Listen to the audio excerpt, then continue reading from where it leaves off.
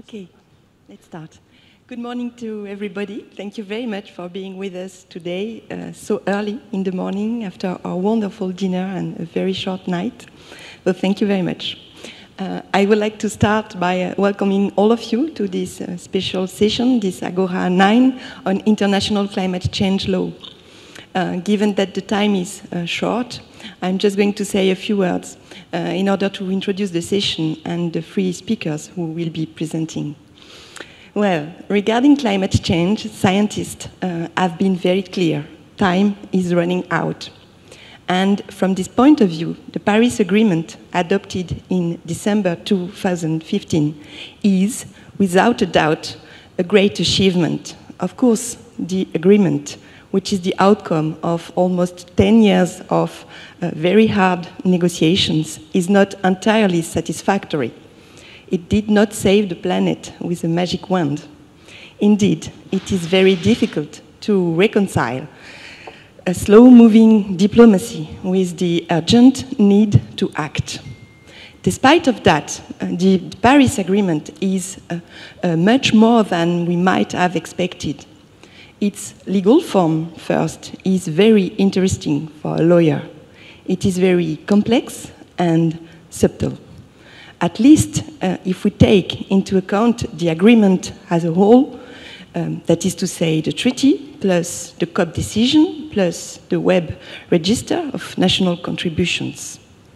And regarding its content, uh, now the agreement is quite ambitious and maybe too ambitious when it states that the objective is to contain the increase in the global average temperature to well below 2 degrees Celsius above pre-industrial levels and to pursue temperature to pursue efforts sorry to limit the temperature increase to 1.5 I would add that to this end, the flexibilities given to parties, and they are numerous, are counterbalanced by a relatively robust common framework. The approach is very pragmatic, and it has been the price to be paid to achieve consensus on the agreement. And maybe it reflects a new way of thinking the role of international law. However, there are at least uh, two specific challenges to overcome. First, the level of ambition at this time, the Secretariat of the Convention received 180 national contributions, covering more than 98% of world emissions. But even bringing them all together, they are still insufficient. They describe a situation where the world is heading for an increase limited to 2.7, 3 or 3.5 degrees it is a remarkable step forward compared with the laissez-faire scenarios, which led to increases of up to 4, 5, or even 6 degrees.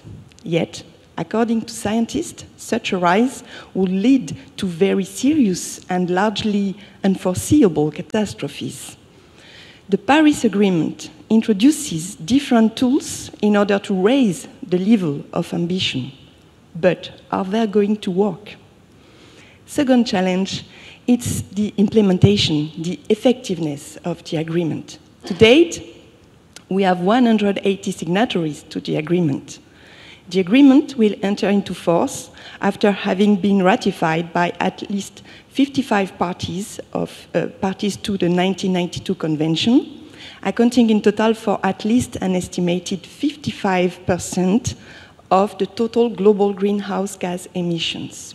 So far, 20, 27 states have deposited their instruments of ratification, acceptance, or approval, accounting in total for more than 39% of the total global greenhouse gas emissions. Surprising, surprisingly, but is it really a surprise, Europe is now lagging behind the US and China that have recently ratified the treaty. Anyway, this raises hopes that the agreement will enter into force. However, it will take a lot of work and at the international level, a lot of COP decisions to ensure uh, its true implementation. Will this agreement, conceived to be both flexible um, and uh, uh, lasting, be able to create a meaningful dynamic? I think that this is the, the big question, and the big question that our three speakers will address. First, Annalisa Savaresi from the University of Stirling is going to put us in the picture. She knows very well, and she knows it from inside the UNFCCC, the climate regime. Second, we will have two presentations on two key, two crucial issues uh, for the implementation of the Paris Agreement, both addressing the need for, I think, a, a defragmentation of international climate governance. We will hear the presentation of Fernando Dias Simoes from the University of Macau. Uh, Fernando will pay attention um, to uh, the relationship between investment law and climate change policies. And third, Maria Panezi from the Center for International Governance Innovation in Waterloo, Canada, will consider the articulation, or should I say, disarticulation, uh, between WTO law and climate change policies. Hopefully, it, if everything works well, and thanks to the organizers, Maria will be with us by Skype. Uh, after these three presentations, we will then uh, open the floor for discussion. Uh, Annalisa, you have the floor.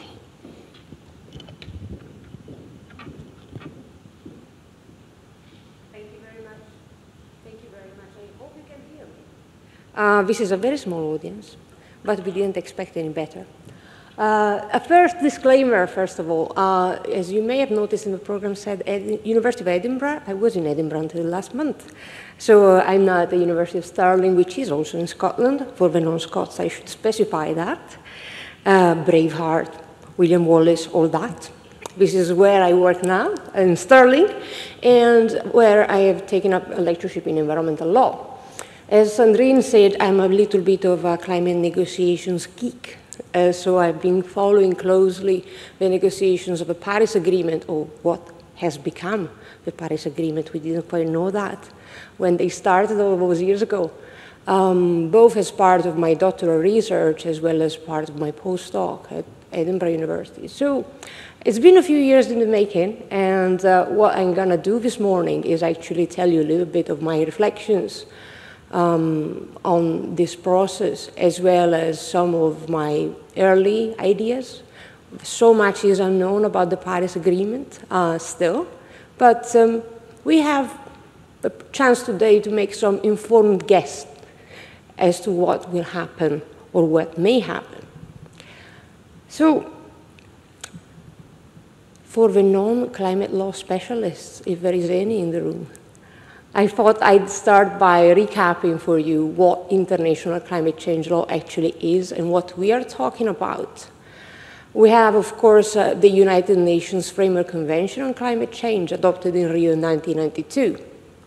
This is the mother of climate treaties in the sense that it's a framework convention, and again, for the non-environmental lawyers, for us this means that it's an umbrella treaty uh, that normally functions by way of subsequent adoption of protocols.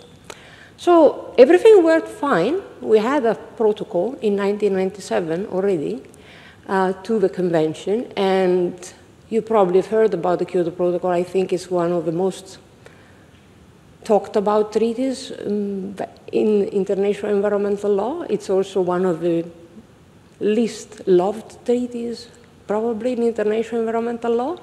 Um, I think it's a very good example from a perspective of an international lawyer of a treaty that outlived the, outlived the political will supporting it. So now we have to grapple with the consequences of having the treaty nobody wants anymore. But we'll talk a little bit about that later.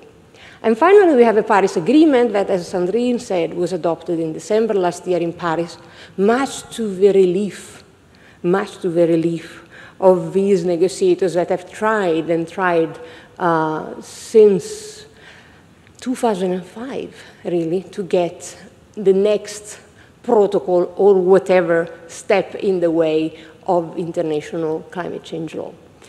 Um, now, there are reasons why things have worked this way, and we don't have a lot of time to uh, go through those reasons. What I will do instead is to paint a picture of you of how international climate change governance works pursuant to these treaties, as well as what has changed with the Paris Agreement and why this is so interesting or exciting, depends on how optimistic you want to be. Uh, first of all, international law addressing climate change, and this is my fantastic funnel uh, diagram, um, works in a way that is rather typical for an international environmental treaty because um, it identifies two key objectives, that of mitigate climate change, that means reducing emissions, and to adapt to the impacts of climate change. So these are the outcomes that you see in the bottom of the diagram. This is what the regime wants to achieve. How does it do this? As I said, very typically, uh, by using three key ingredients. Information, the provision of information is crucial. And there are state obligations associated with the provision of information. States must provide information under this regime because if they don't, we don't know who is emitting, how much, and how much they are reducing their emissions. The transfer of technology and finance.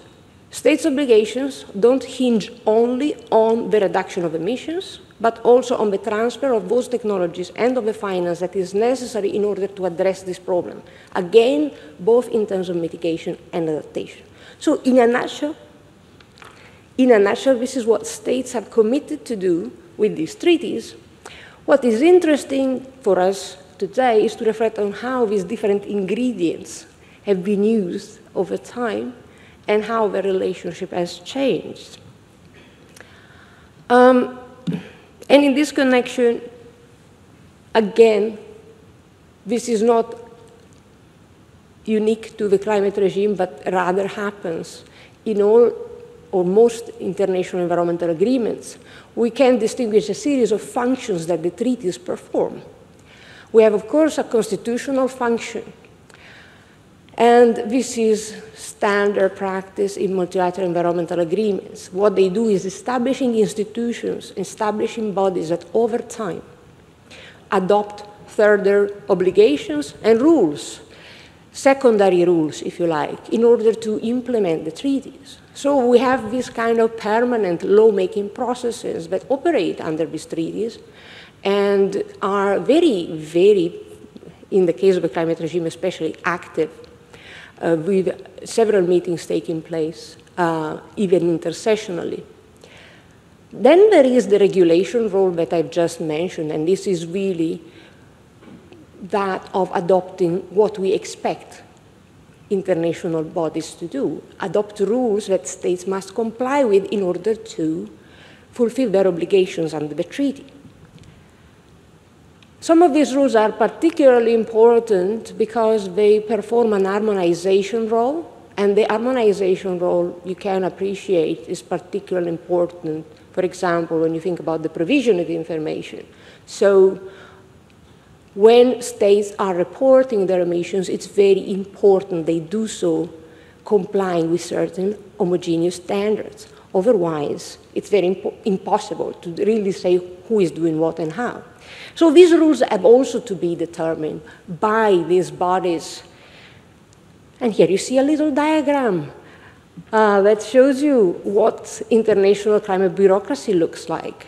It's one of the largest international bureaucracies in existence. Uh, it's definitely in the environmental context. Um, and it is very complicated. Uh, there is several bodies that deal with the various issues that we saw in the funnel diagram before. So information, technology, finance, as well as mitigation and adaptation. Some of these bodies have been established under the convention. Some of these bodies have been established under Kyoto Protocol.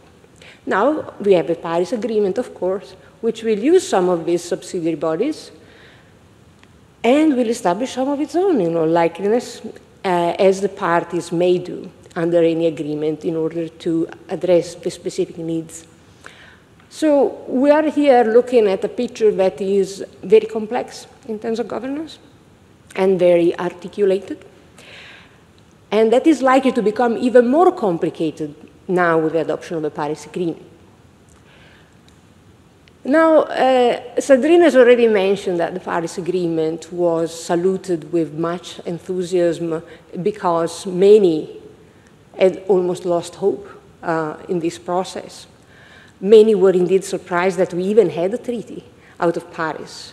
I was one of the skeptics, to be honest. After, after one week before the end of the conference, I was like, we're not going to get a treaty out of this process. The drafting process was at such a state, in, in such a shape, that it was looking very impossible. So it was almost a miracle.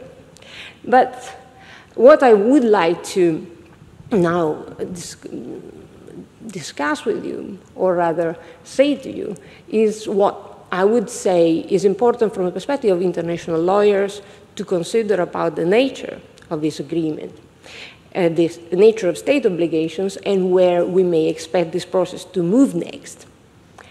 First of all,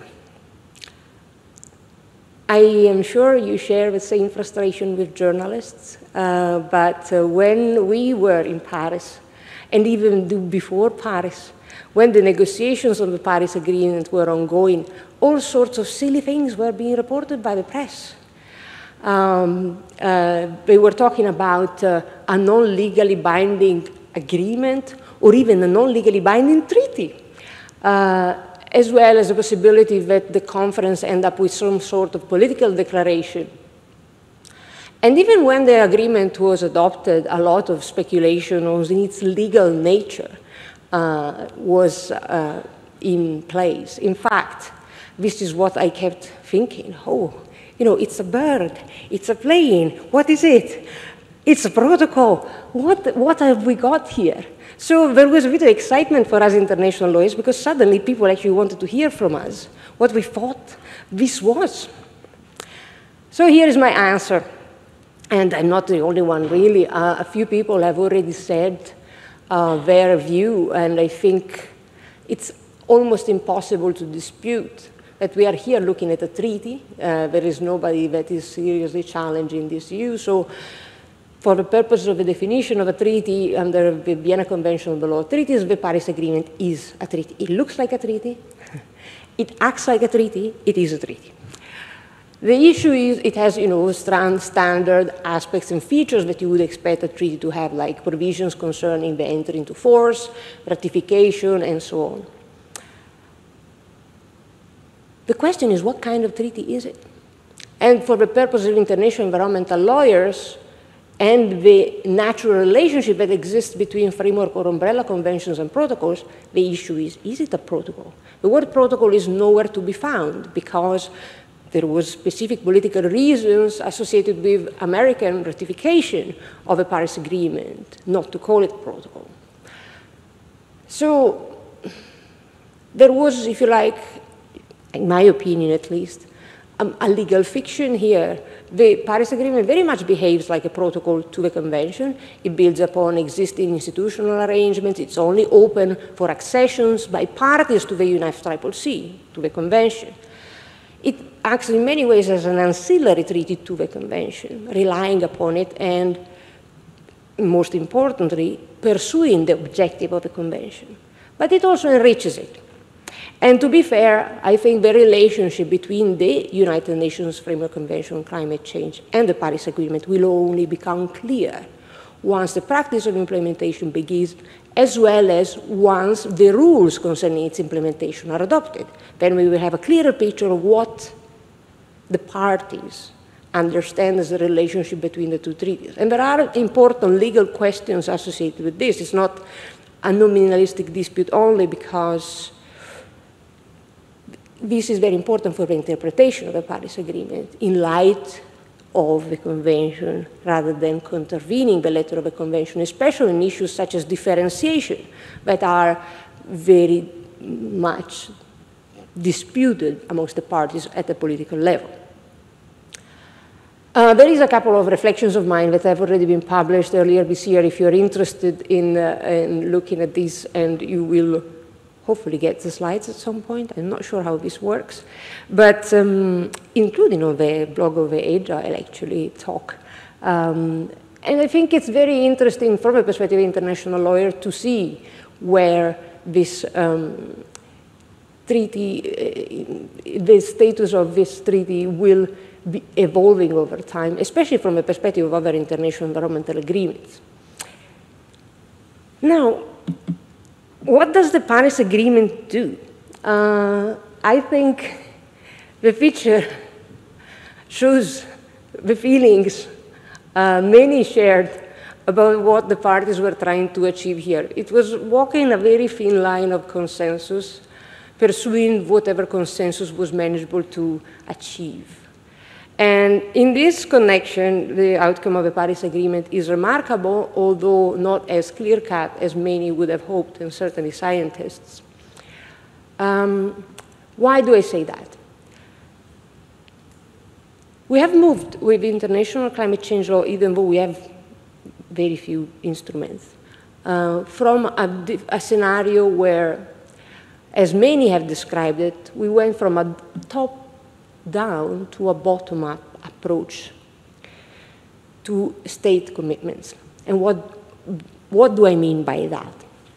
Uh, this is not my making. Daniel Bodansky is uh, the father of this idea, but the, the, the, in a nutshell, what this means is we've moved from a framework like that embedded in the Kyoto Protocol, where we had targets for reducing emissions that were embedded in a treaty.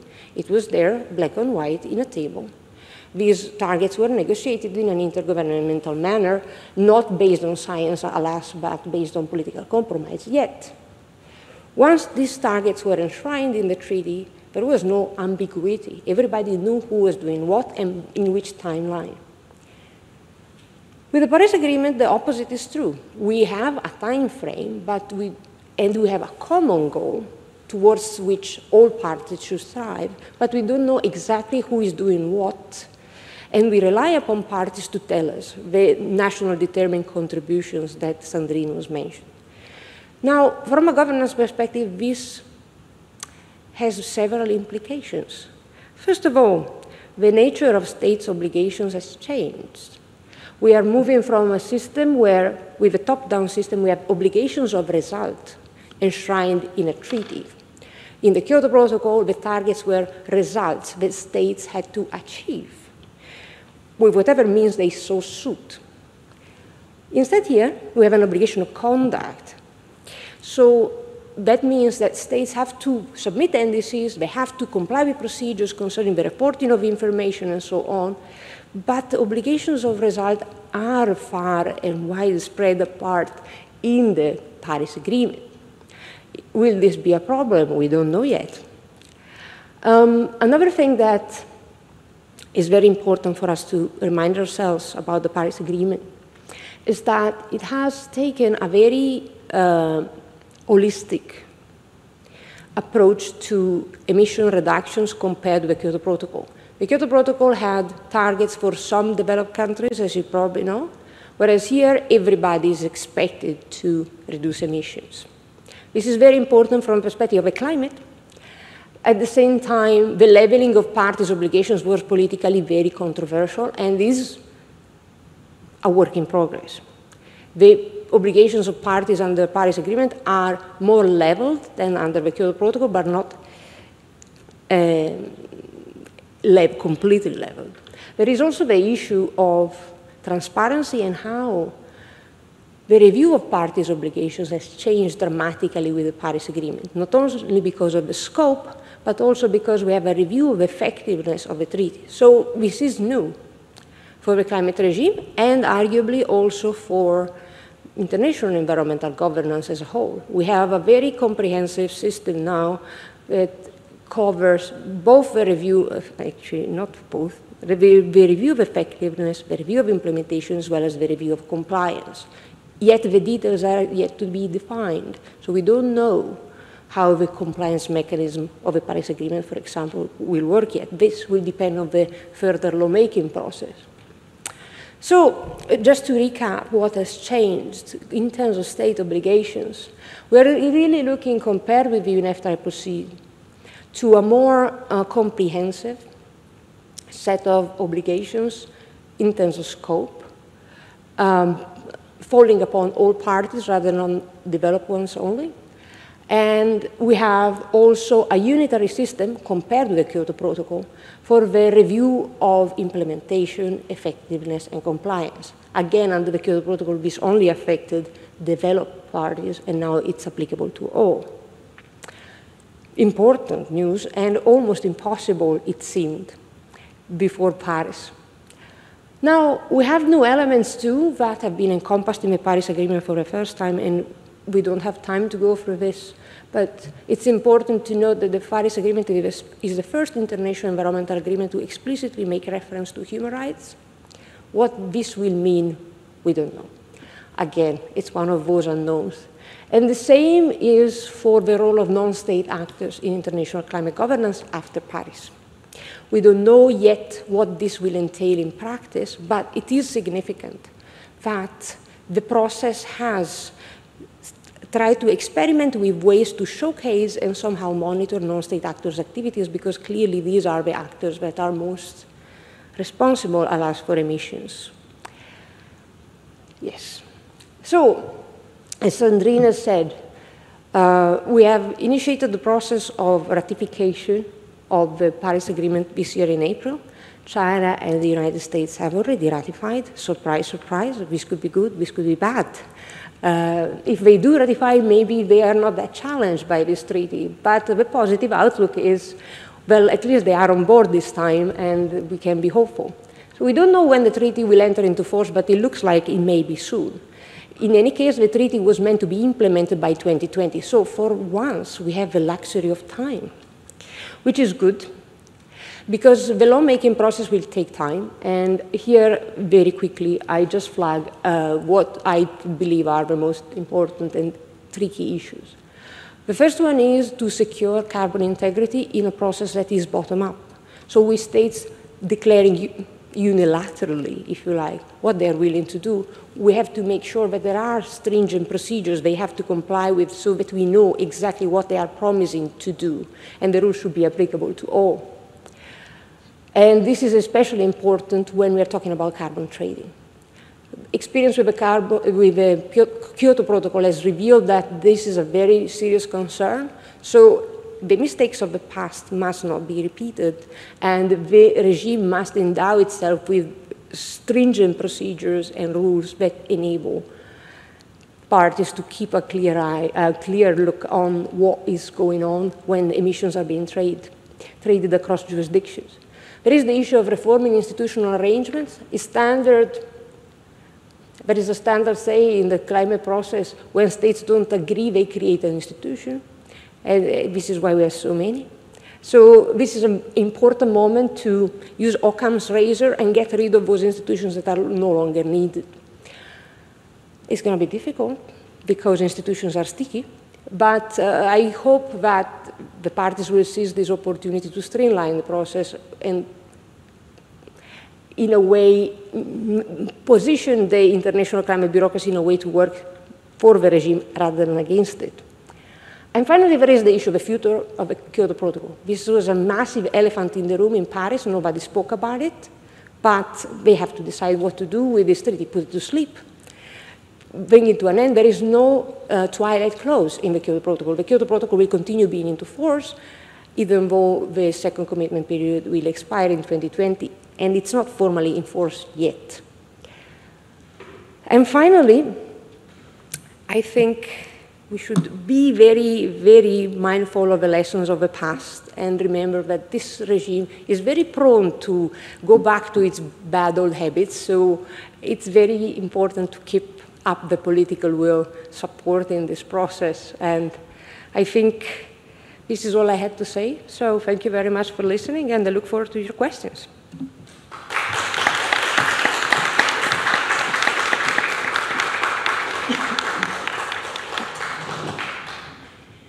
Thank you very much, Annalisa. You gave us a very clear presentation of this agreement. Now I give the floor to Fernando.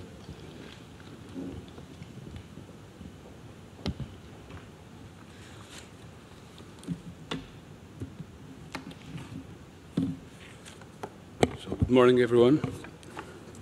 Uh, first of all, I would like to thank the organization for giving me this opportunity to present some of the work I've been doing uh, more recently. It's really an honor and a pleasure to be here.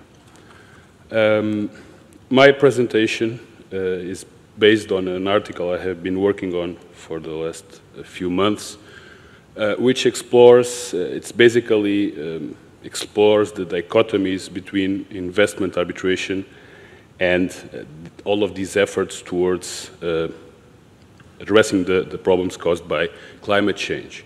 So policies in favor of renewable energies. And what I've concluded it, that is that there are many dichotomies and gaps that need to be addressed. We uh, live in between green hopes, uh, but we live also in great times. Coming from Portugal, I know that. Between expectations and the financial crisis, between ambitions and maybe dreams and the harsh austerity. Between agreements such as the Paris Agreement that has already been uh, very well introduced by Annalisa and the reality of enforcement.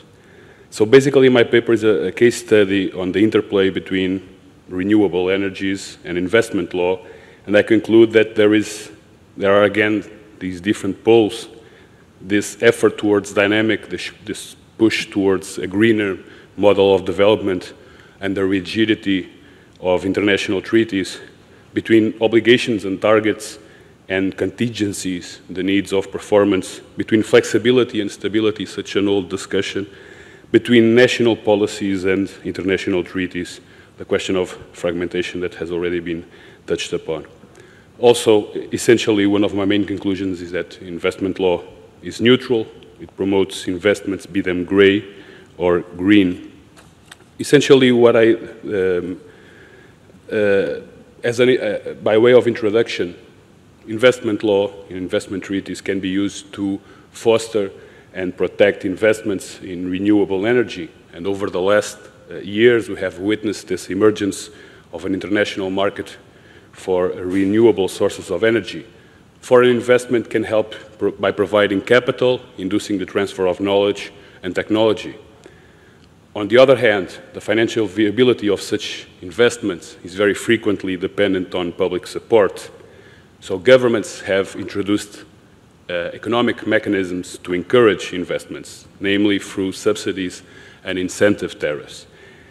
Especially popular, uh, uh a very, uh, an especially popular example of this are feed-in tariffs, where the electricity generated from renewable sources is paid at a fixed minimum price, which is generally set higher than the market price and is guaranteed over a period of time. This, uh, in theory, makes sense. Such investments uh, uh, in this market are capital intensive and they require a very lengthy payback period. But they are also associated with regulatory risks because governments may, once the costs are sunk, decide to change the regulatory framework that was in force at the time the investments were made. These support mechanisms, such as feed-in tariffs, they play a central role in determining both the period of time and the rate of return on investment. If we think about it, this is, like happened in other cases, the permanent struggle between uh, governmental uh, policies and the need to resort to private investors who naturally are expecting to have some uh, return on their investments. Investors uh, are, uh, of course, interest, interested in ensuring the stability of the legal framework. They, they want to be protected from uh, unwarranted policy changes.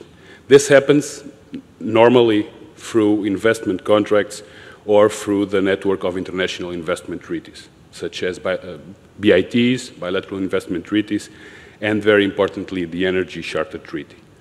While investment contracts provide some consistency namely through the use of stabilization clauses, sometimes they also prove inadequate.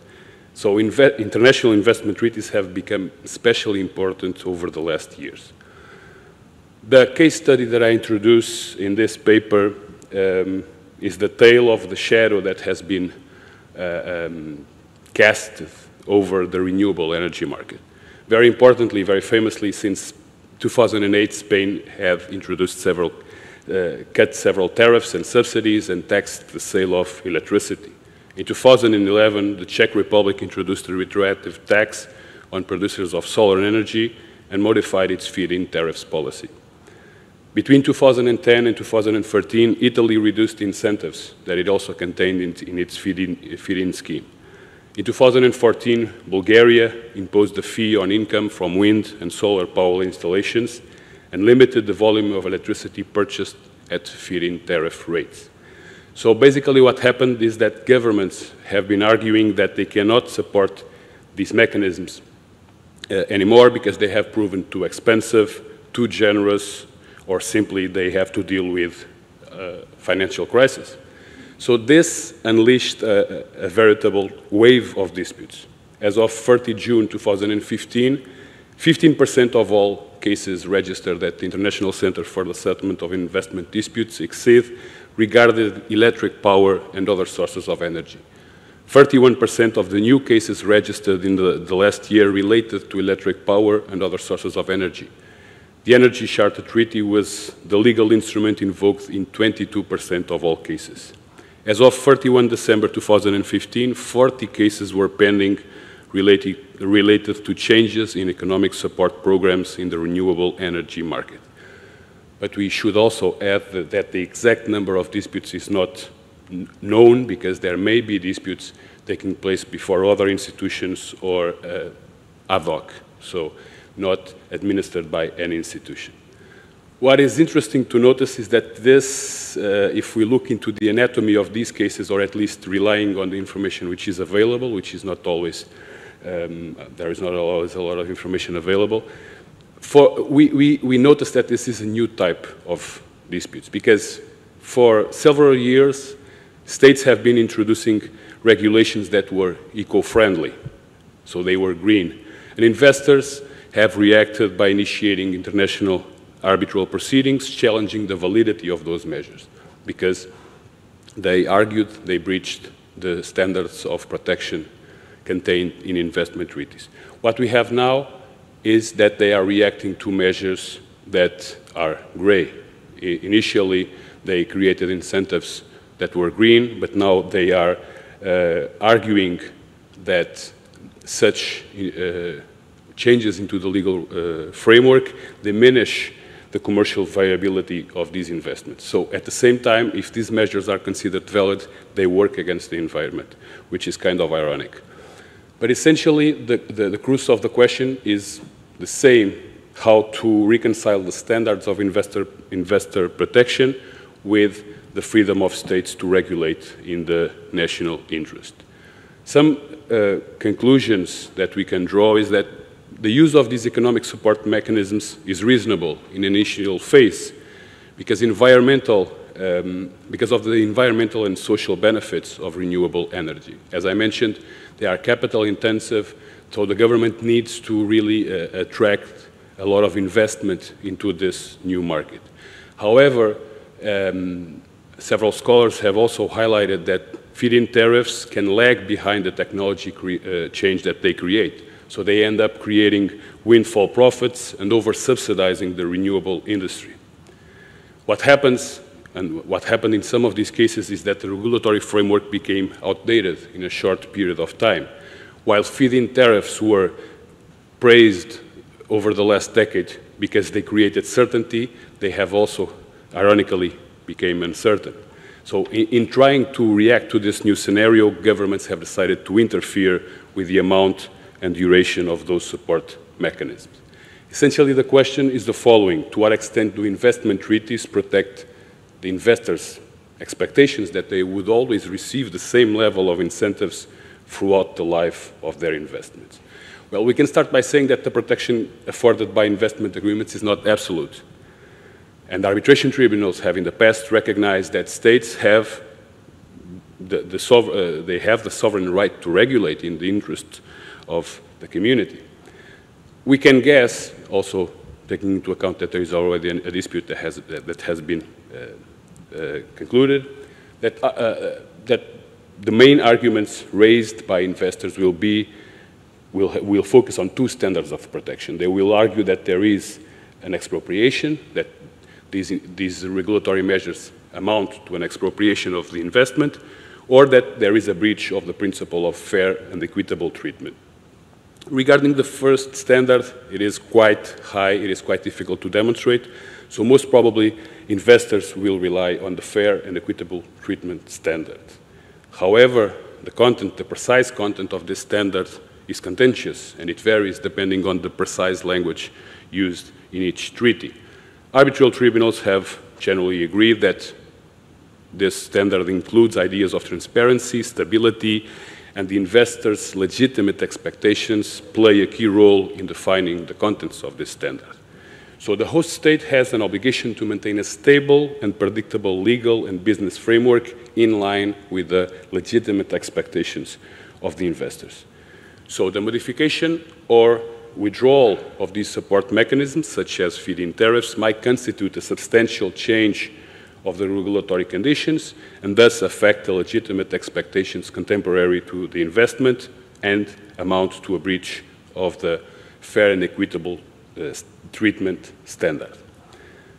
As I mentioned uh, already, we already have a decision the, in the case Charanne versus Spain.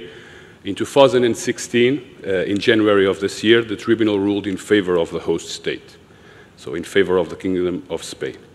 The claimants had alleged that the reduction in incentives breached the standard of protection of the Energy Charter Treaty, namely, um, as would already be uh, foreseen by some, have already been foreseen by some authors, namely that it breached the fair and equitable treatment standard and that it amounted to an expropriation. Essentially, the tribunal considered that, first of all, Spain had not made any specific commitments to the investors with respect to the stability of those incentives. So the, um, there was no specific commitment through, for instance, an investment contract. The, the commitments adopted by the state resulted essentially from the legal framework. Second, investors could not have expected that the renewable incentives regulatory framework would remain unchanged for the lifetime um, of the photovoltaic plants. In the absence of a specific commitment, there was no violation of the legitimate expectations of the investors. Importantly, the obligation to provide fair and equitable treatment to investors does not require freezing regulatory frameworks. So this, these are important notes about this permanent tension between dynamics and uh, stability.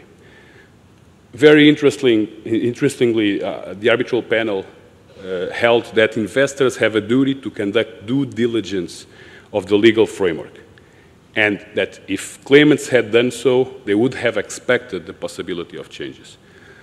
I mean, we are talking about experts who, for sure, apart from some uh, individuals who have made their small investments not as professionals, not as huge uh, corporations, which could be an interesting question. Uh, have they been led by misleading information about how profitable this market was, but that's a question for future research. I would like in the future to identify what type of investors are we talking about. Multinational corporations who are experts in the field of renewable energy, I'm sure that they could have anticipated the fact that once technology uh, is introduced, normally it becomes very cheap, and so they cannot rely on the same level of investments forever. But these are questions for future research. So the tribunal held that the changes introduced by the Kingdom of Spain were reasonable, proportional, made in the public interest, and not retroactive. They maintained all the fundamental characteristics of the regulatory regime that existed uh, at the time of the investment. Some concluding remarks. Uh, this is the first decision uh, in this type of cases, so many more to follow. It is not a binding precedent, so it does not in any way uh, influence future decisions. Still, and, and, furthermore, this arbitral tribunal focused its analysis on the legal changes introduced by Spain in 2010. So it did not consider further changes that were introduced later and which were uh, harsher than these ones. So probably, or uh, it can happen that the other measures which are already being challenged in other cases will have a different outcome. Other tribunals faced with uh, similar claims will have to assess whether governments have acted with consistency, transparency, reasonableness, and whether investors had legitimate expectations that were breached. Furthermore, as I also mentioned previously, there are different interpretations in the doctrine and in practice about the precise contents of the fair and equitable treatment standard. So any evolution uh, will depend upon the specific circumstances of each case. Regarding the usefulness of feed-in tariffs, of course they are useful, but they should not be irreversible.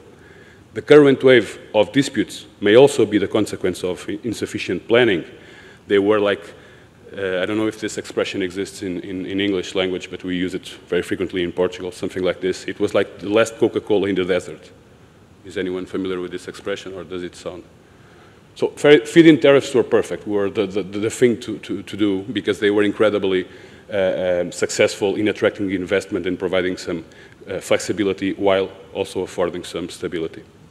They, governments need to, to realize and learn from, from th these lessons that renewable energy policies, especially when they have financial support mechanisms, should be seen as a permanent exercise of re reevaluation and readaptation. The mechanisms such as feed-in tariffs should be designed prudently to allow for flexibility when condition and where market conditions change. Also, it is very important not to uh, burn the bridge between investors and governments because they are essential partners in this shift, in this transition toward, towards a low-carbon world. So governments need to strike a balance, again, between regulation that discourages foreign investment and foreign investment protection that discourages regulation. Importantly, the Energy Charter Secretariat has been discussing the benefits of a non-binding declaration or of an interpretative note on the promotion of low-carbon investments. Why? Because achieving or building a new multilateral agreement would probably be harder than just adding an interpretative note to the Energy Charter Treaty.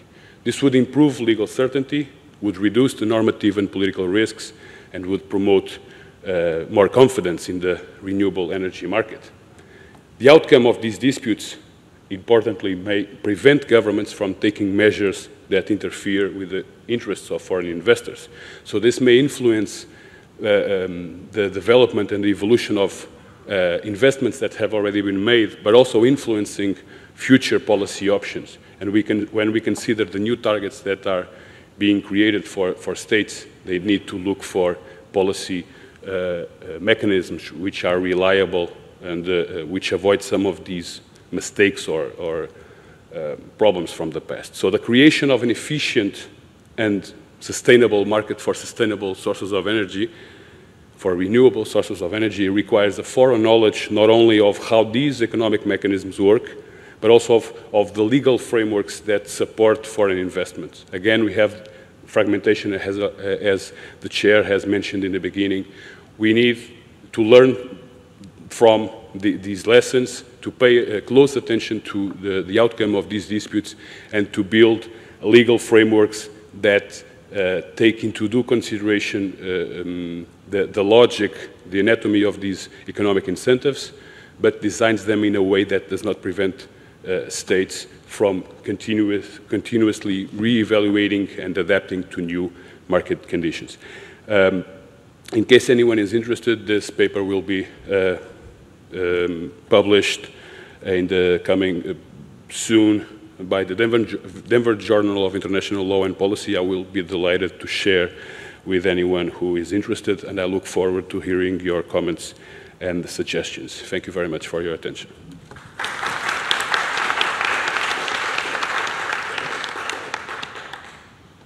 Thank you very much, Fernando. Indeed, it is a new perspective with green investors on the interplay between environment and uh, investment. And um, let's turn now to another interplay, the interplay between WTO law and uh, environment, environmental policies. So we, Maria, you have the floor. Hello. Hello. Hello. Let me move to my PowerPoint. Okay, there we are. Uh, first of all, thank you very much for accommodating uh, this um, unusual arrangement via Skype. And uh, today I will be talking about um, a paper that uh, the title that I've given is The Climate Change Tent and the Trade Cathedral. And uh, first I'm going to talk a little bit about how the title came about. Um, during COP21, uh, in the IETA pavilion, the International uh, Emissions Trading uh, Agency, there was a discussion between Pascal Lamy, uh, the former Director General of the WTO, and Tim Groser, who at the time, very interestingly, was Minister of Trade and Climate Change for New Zealand. So um, the interesting part is that they were talking about the relationship uh, between trade and climate change, and that Tim Groser actually held that position in New Zealand. So in their discussion, uh, Pascal Lamy said, it's, it's so easy for members to come and sit in a common framework where they're looking at what they can all bring to the table and minimum contributions, individual contributions. So uh, parties are far more likely to come in and contribute and, and discuss what they can, uh, while uh, the WTO is a cathedral. It is a um, a very imposing building. It's a uh, it imposes a legal framework that's so rigid and uh, uh, elaborate that parties are less likely to join in and um, contribute to further uh, elimination of tariffs and environmental goods or some kind of an environmental uh, provision in the agreements.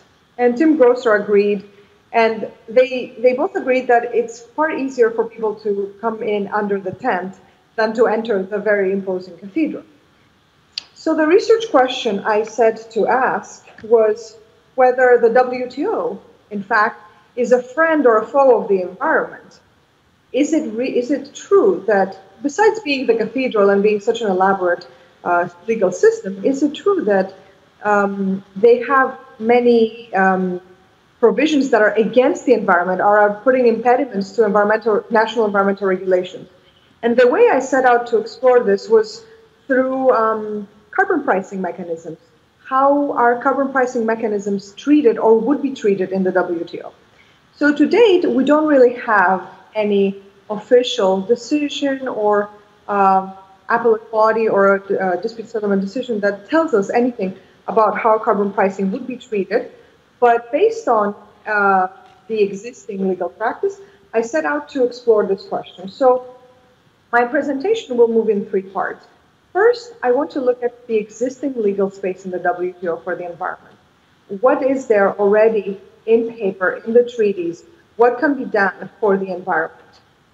The second part of the presentation is if, is there any kind of policy space that we can envision in trade that can extend into the environment?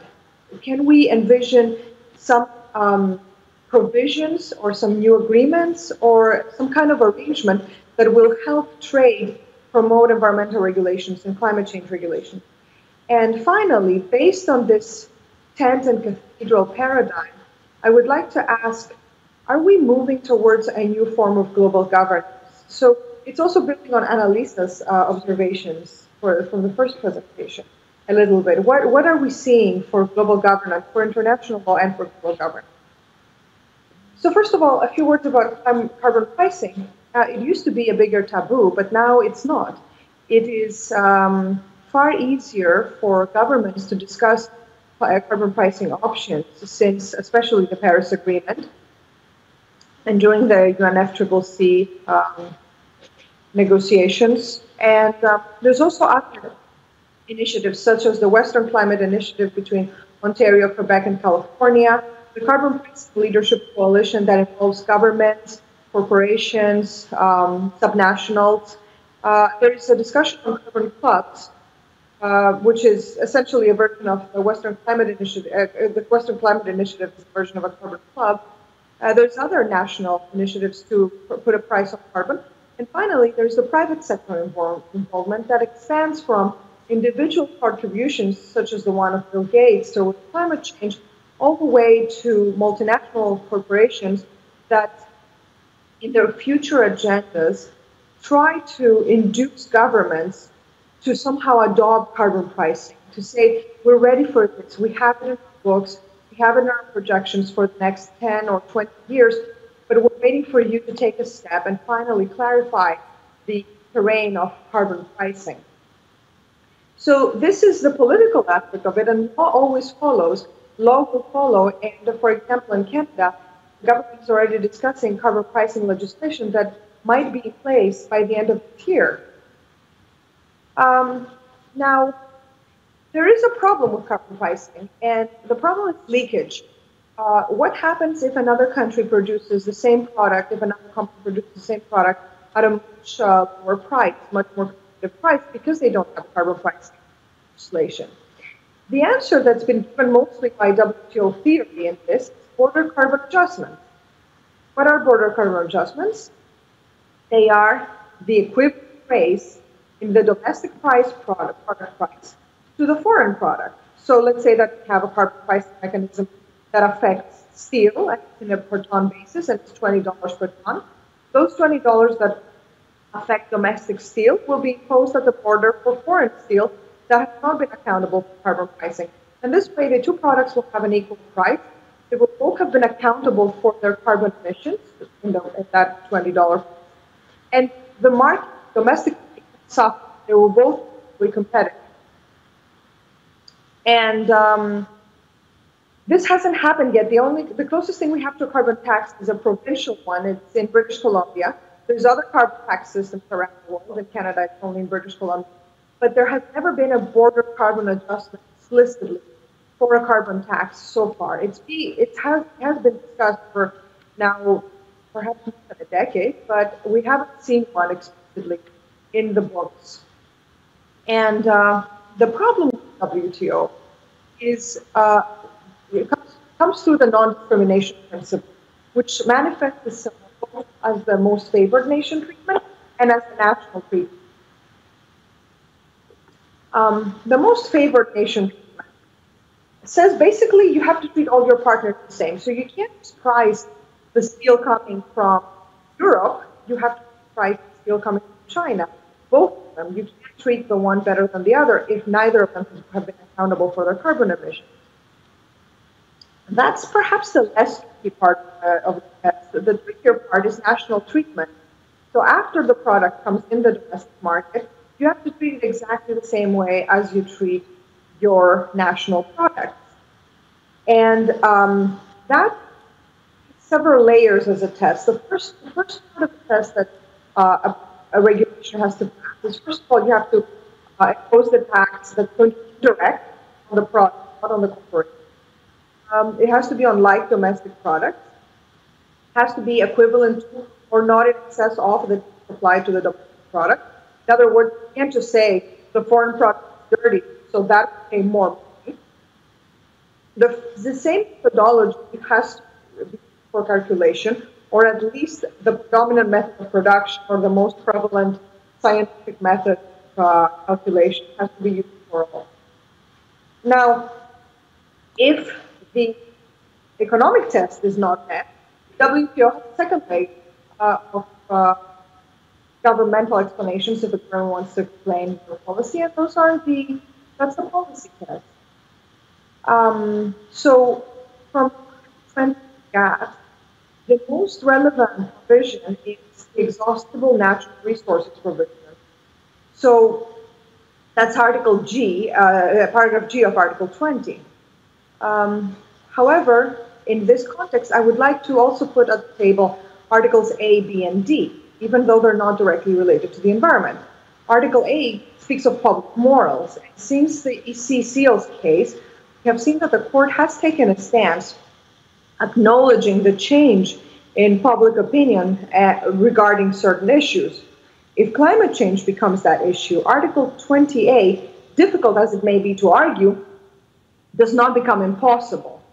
Then we have Article 20b that talks about human, animal, and plant life and health.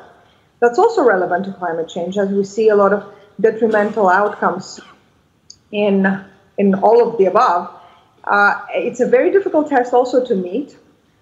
Uh, that's why it should not be used primarily, but we should also keep it in mind. And finally, Article 20D, if and when the Paris Agreement becomes domestic law, countries can claim that in order to conform with their Paris Agreement, obli- uh, agreement obligations, they are using carbon pricing to reach those targets. That doesn't mean those three are as important as G, which is the directly relevant, but at this point, not having encountered this type of scrutiny in the WTO, it's important to keep all the toolkit in mind. So, what are we looking for for those policy uh, justification? We look strong, for a strong indication of even-handedness, uh, the lack of arbitrary uh, or unjustifiable discrimination. We look for same conditions or at least similar conditions in uh, Canada and the affected country. I'm using Canada as an example because that's the example I'm working on now. And final, uh, and then not not a sky's sky's restriction on international trade. The last condition that I've, I've added here is to strengthen a country's case when they're adopting such a mechanism is to use the revenues, not generally, not to put them back in the vaults and distribute them to as tax cuts, but use them for environmentally related projects. This way, there's a strong element of the country showing that the reasons this were adopted were not to somehow shield the domestic market from foreign competition, but because they're generally environmentally committed. That's actually very important. Now, what happens to product that the country does not produce?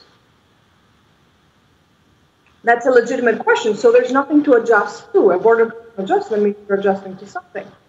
There is a solution for that, and it's a very controversial one in uh, theory. Not sure it's as controversial in practice. It's Article 28 of the GATT, which is a tariff deconsolidation, to raise the tariffs again. It's a huge, huge taboo issue in WTO to say, to, to imply even that all those tariffs that were reduced the years can be raised up again.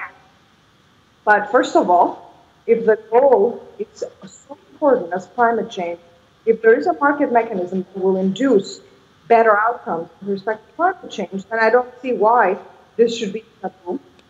And second of all, this has been happening already.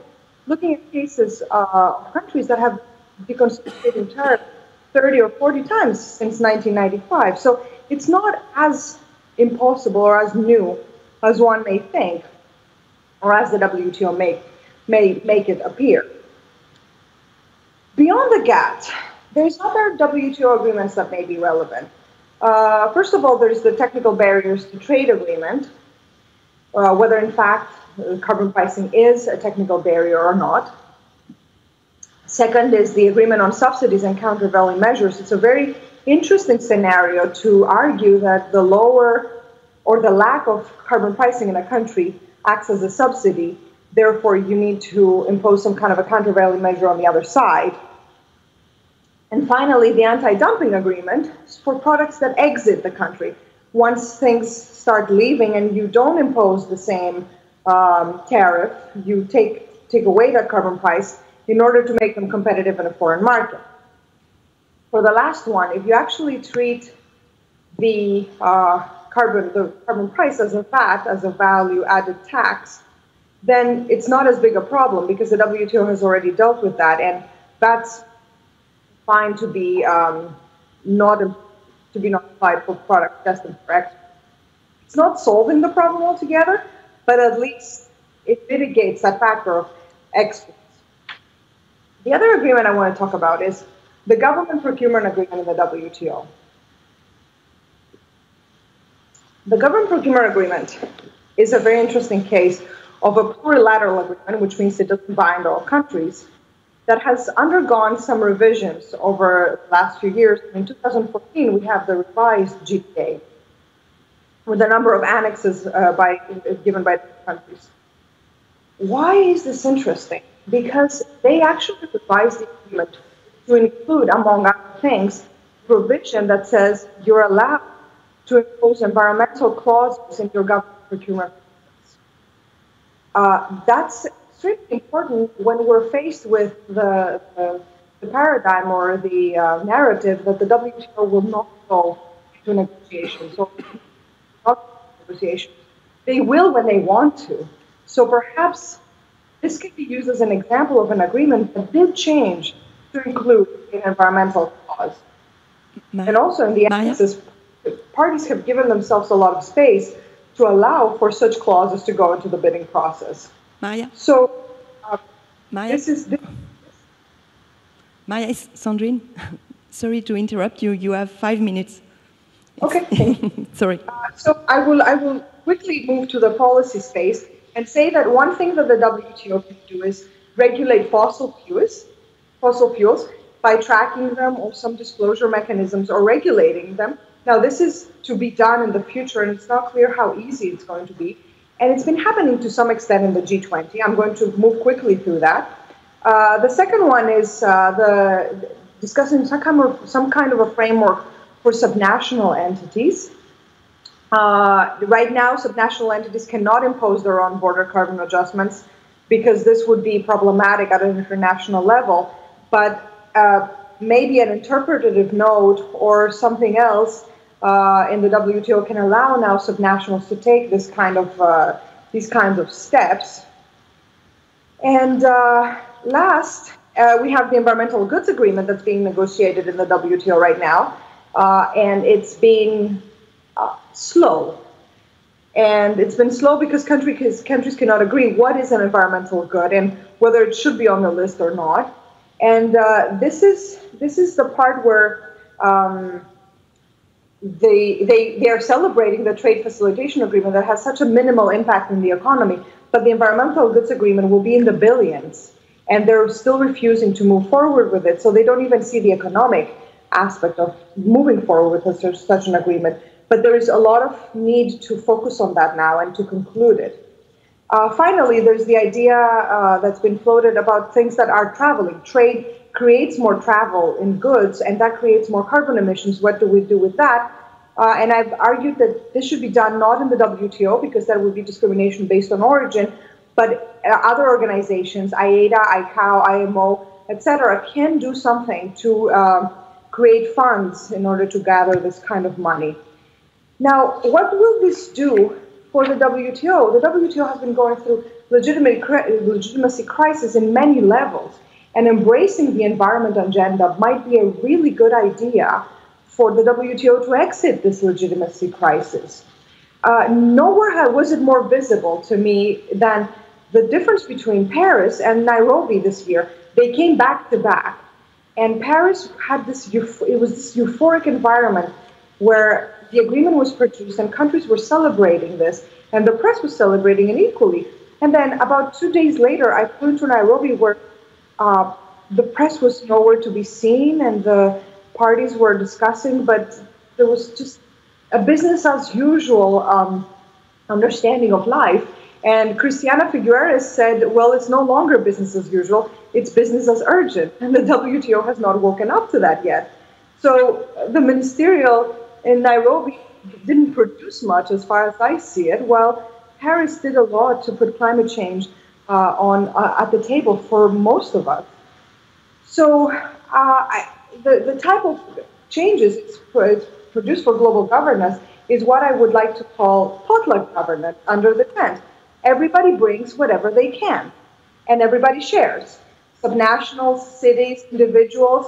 Bill Gates, as I mentioned before, was photographed with world leaders. It's it's this paradigm of trying this bottom-up negotiations, this bottom-up approach to produce these agreements. That's very important, and perhaps the WTO can take a clue and not only come out of its own legitimacy crisis, but also produce a meaningful agreement at the end of the day, perhaps on the environment.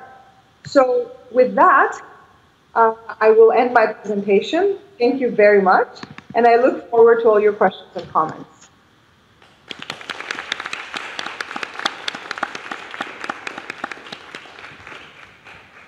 Thank you very much, Maria. And thank you very much for your free, refreshing, and stimulating uh, presentation. I'm sure they gave rise to a lot of questions and comments. So you have the floor.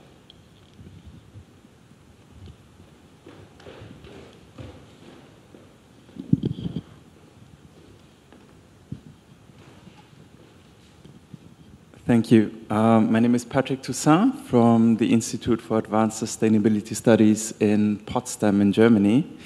And I have two questions for Annalisa. Um, first off, you mentioned that under the Paris Agreement, there's some new uh, implementation and compliance mechanism being developed, and a lot of the details are not out yet. But my understanding from the text is that this mechanism will be non-punitive, um, non-adversarial, um, basically as no teeth. It's uh, according to national circumstances, etc. So maybe I'm wondering, are there any lessons to be learned from compliance under the Kyoto Protocol? And would you say that compliance through transparency um, is actually enough to hold parties to account? And as a second question, you mentioned briefly that the Paris Agreement was envisaged to come into force in 2020, and that therefore we have the um, luxury of time. And looking at some studies from various climate think tanks, uh, they estimate that the carbon budget um, for the 1.5 degree target will actually run out in five years. And under the Paris Agreement, there will be this report uh, during 2018 uh, Uh, on, on the impacts of 1.5 degrees, etc. So I'm just wondering, if we're running short there on time, then what do we do if we actually overshoot the two degree target? And what do you see will be a solution there? Do we have to look into climate engineering or negative emissions? Thank you.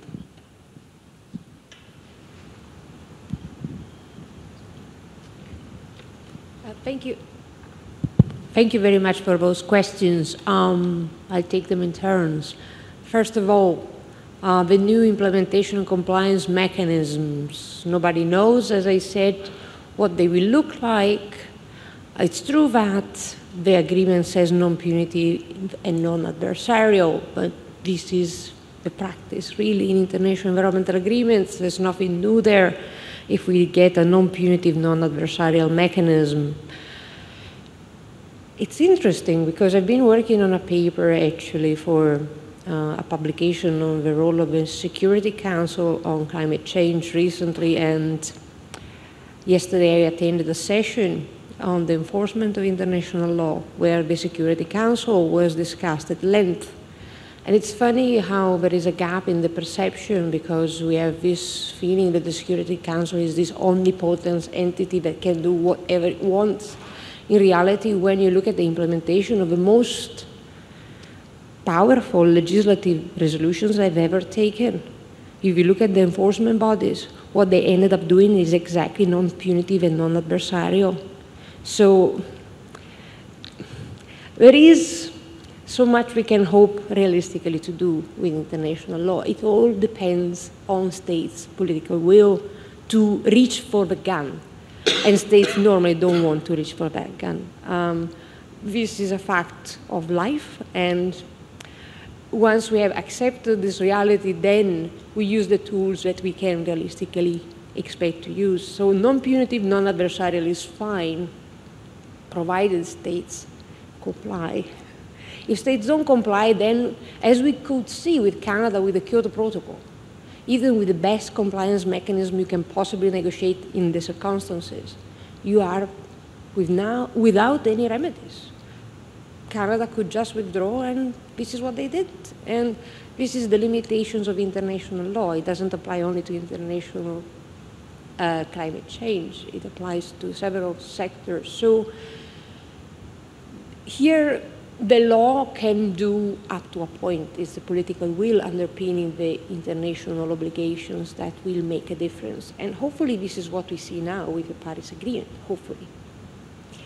Um, about the luxury of time, I was talking about the lawmaking process. I was not talking about uh, uh, the climate. Unfortunately, we are already out of time practically. Um, so in this connection, I think what is interesting about the Paris Agreement is actually the review of effectiveness of the agreement in itself. This is new, it didn't exist the Kyoto Protocol, for example. One of the great limitations of the Kyoto Protocol, arguably, was the lack of review of effectiveness.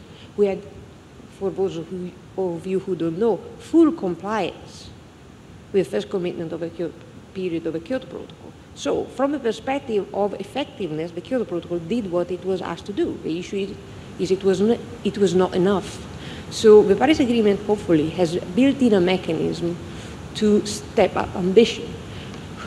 what will we need to do in order to get to that level that the scientists tell us is safe? I, I'm not qualified to say, in the sense that as a lawyer, I hear what the scientists say, I don't know if doing CCS is good or bad, carbon capture and sequestration, if you know we should go there or not. Um, I may have personal opinions about this, but clearly uh, we have to rely on the scientists to tell us what is best to get us out of this mess.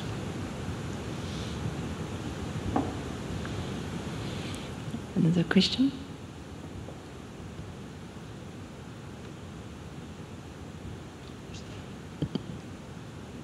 Thank you. Uh, my name is Gustav Zgailis. I'm from the State Chancellery, uh, Latvia. And uh, uh my um, uh, first question goes to the, uh, to, me, um, to, the first speaker, Dr. Savaresi.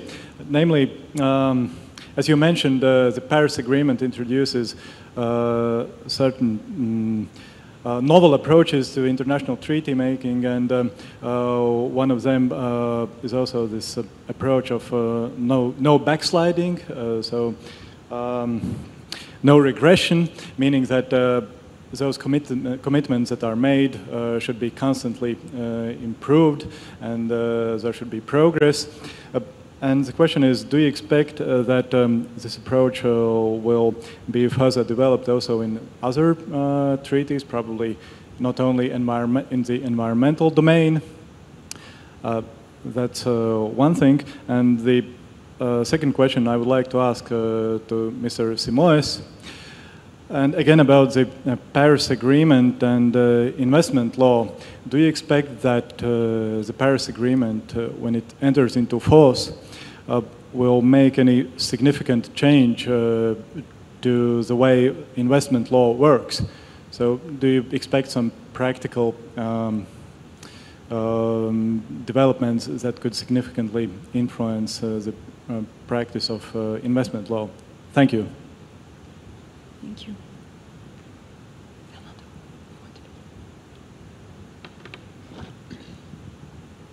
Should I go first?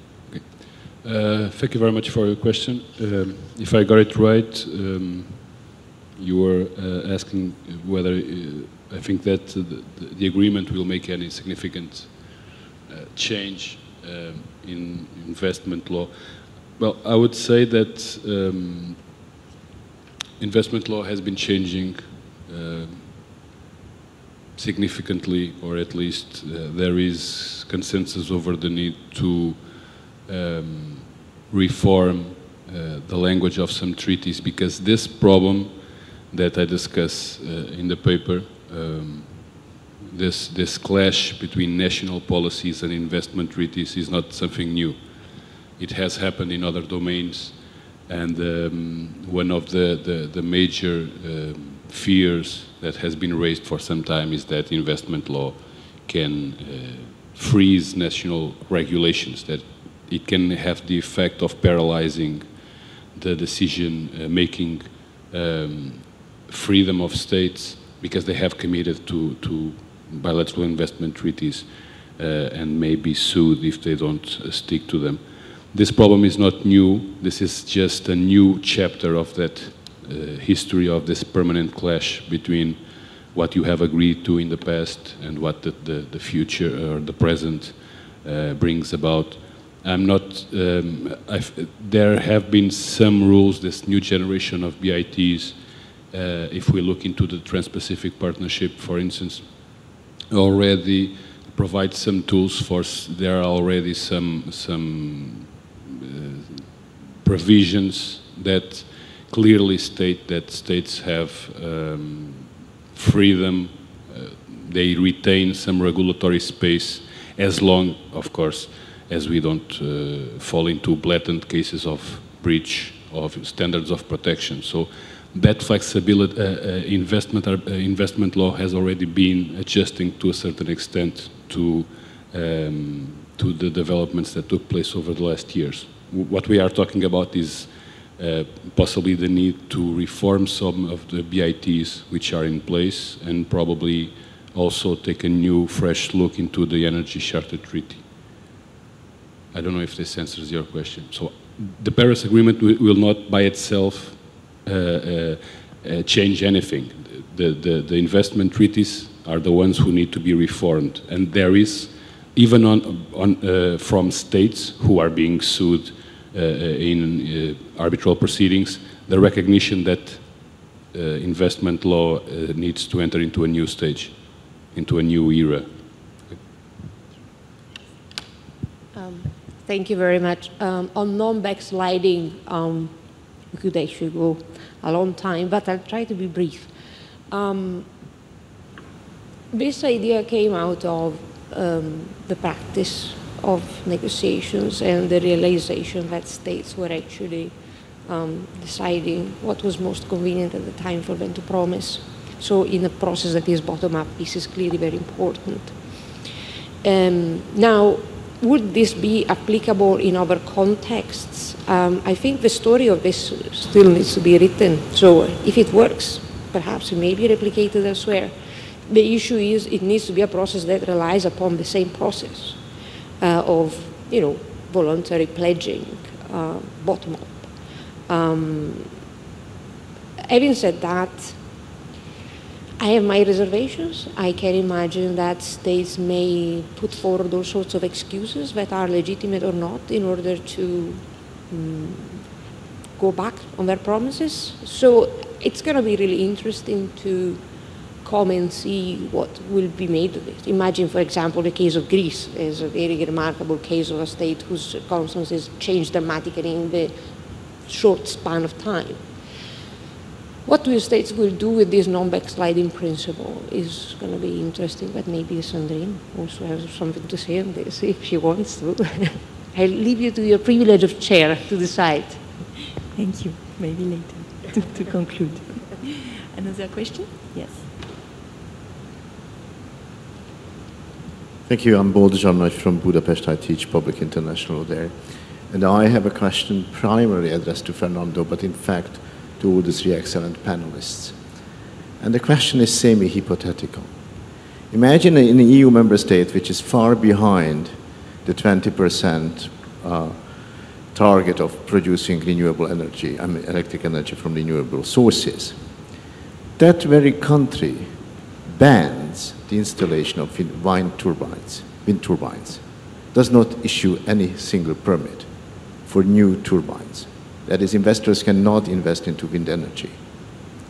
Do you think that that policy could be attacked legally on any basis, whether it's investment protection, that is, that is privileging other investors in other sectors of energy production, or whether it, is, it could be attacked on a broader environmentalist platform? So it's a ban on wind, ener wind energy production, new wind turbines being installed.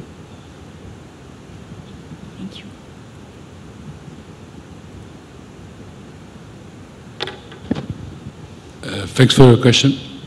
if I got it right, um, you were mentioning the hypothesis of a, uh, of a country that has not enacted regulations that would uh,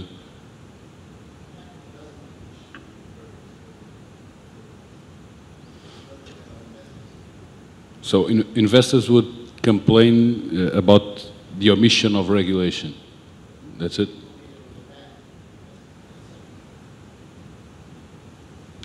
They would invest and they are not allowed. In order to erect a wind turbine, you so, need a state yeah. permit. But they, they, don't, they don't get to invest because uh, the legal framework uh, is not in place, is that it? They don't get the permit. Ah, okay. Simply, there are no permits issued, and it's a policy not to issue new permits for wind turbines. Yeah, it um, it depends. It depends on on I'm not saying this in a bad sense, but it depends on the creativity of, of the lawyers, if they can fit uh, uh, that behavior into one of the standards of protection.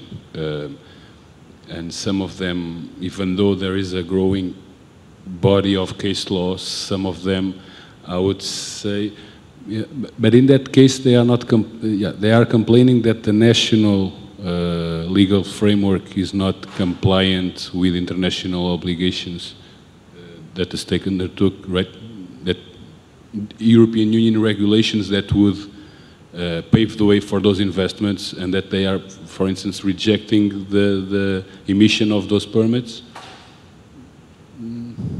I, I think it's, it's, it's possible.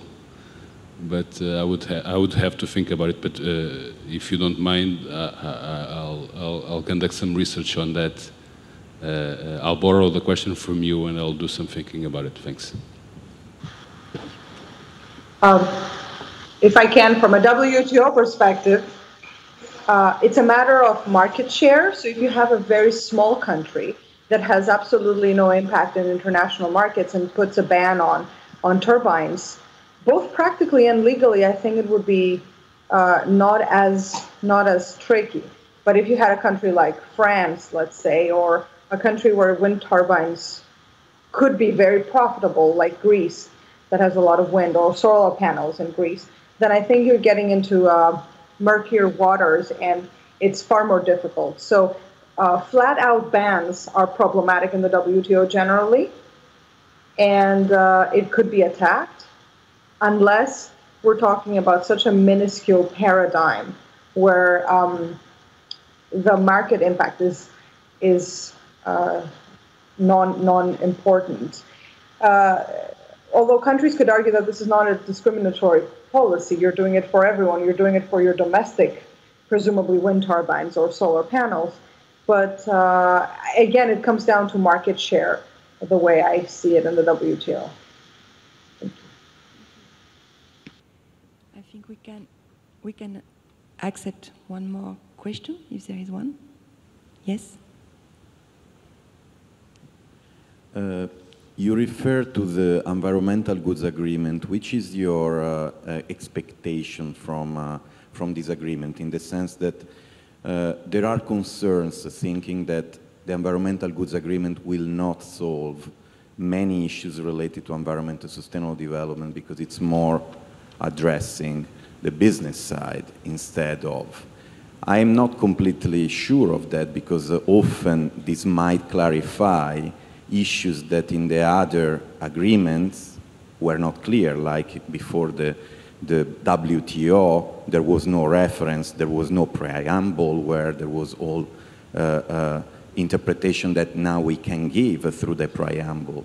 Which is your impression regarding uh, the environmental goods agreement in the sense of not only bringing business as usual, but bringing more environment in the trade dimension? Thank you. Thank you. Maria. Uh, that's a wonderful question.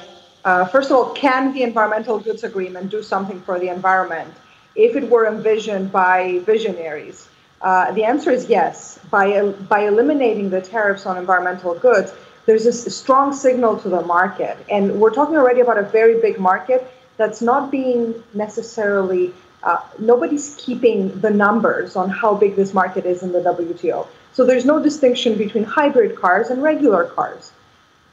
And all these all these numbers are coming out of other directions. If the WTO comes and shows a strong signal that there is a market preference, that people will will transition towards hybrid cars uh, and there is a there, there are more numbers. Perhaps the investors will come in and give more money there, and that goes on for many environmental goods. So it has the potential as an agreement by eliminating tariffs to do a lot of good things for the environment.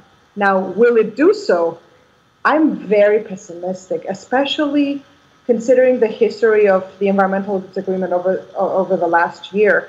They were supposed to conclude by the time Paris was concluded, and they were supposed to announce this in Nairobi. That's what we knew summer last year, that this was the plan. The plan was to conclude then, and it would be a moment of celebration. Between then and now, we've seen so many products, and the product list was so large compared to what it is now, and products just keep falling off for uh, reasons that to me sound not even legalistic, they sound tricky. Uh, an example is the bicycle seats. Uh, Denmark wanted to put that on, think, on the list, and then other countries argued that it shouldn't be on the list because bicycle seats uh, have a lot of carbon emissions in their production. So suddenly, bikes are the bicycles that we have are are point of controversy. Instead of just agreeing and eliminating the tariff and putting it on the list, they they start to um, to argue about it. The other problem is a legal definition of what constitutes an environmental good. And this is exactly the same paradigm between the WTO being the cathedral and the climate change, the Paris Agreement being the tent they're arguing over what constitutes an environmental good. And my honest answer to this um, as a lawyer is for the WTO is who cares? You can eliminate the tariffs if you think it's an environmental good and apply it on an MFN basis, and maybe others will follow suit. But why do you need to necessarily agree on what constitutes an environmental good if you have tariff tables that are bound, if you are going to make commitments anyhow that will be specific on product? So I'm pessimistic of what is going to happen uh, of the environmental goods agreement. As far as I know, it hasn't been concluded yet, so we're still waiting. Thank you. Thank you. I think we are going to stop here. I would just um, like to add a few words to, to conclude. Uh, let me switch to, French. Um, J'espère que l'atelier vous aura convaincu de euh, l'importance de, ces questions de changement climatique et euh, du grand nombre de questions qu'elles font surgir sur le plan juridique, des questions qui sont des questions très importantes, euh, puisque finalement, elles nous, ne serait-ce que l'accord de Paris, nous montre peut-être de nouvelles manières de faire le droit international, de concevoir le droit international avec cette articulation entre l'approche euh, bottom-up et euh, ce qui est commun, euh, les, mécanismes de contrôle, la transparence, tout ce qui est destiné à pousser les États à relever le niveau d'ambition de leurs contributions. Et c'est étonnant de voir que les contributions nationales des États, qui sont le cœur de l'accord, elles ne sont pas dans l'accord.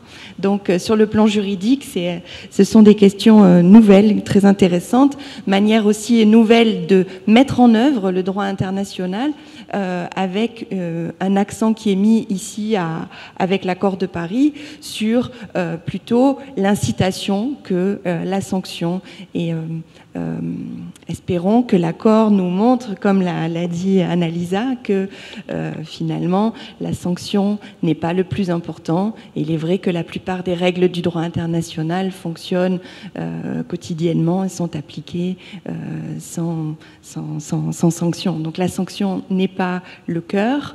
L'important, et on le répétait souvent dans les négociations, c'était que tout le monde monte dans le bus et qu'après le bus démarre. Donc c'était vraiment d'insister sur euh, l'incitation, euh, la création d'une dynamique, mais comme on l'a dit, cette dynamique, euh, on ne pourra dire que dans quelques années si l'accord de Paris a réussi véritablement à la mettre en place.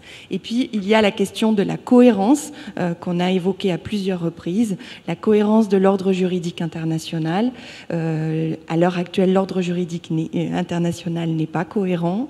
La Convention climat de 1992 a eu tendance à être un petit peu enfermé, un petit peu isolé, et euh, de cette fragmentation du droit international, hein, qui, est, qui, est, naturel en droit international, les États jouent, euh, les États instrumentalisent la fragmentation.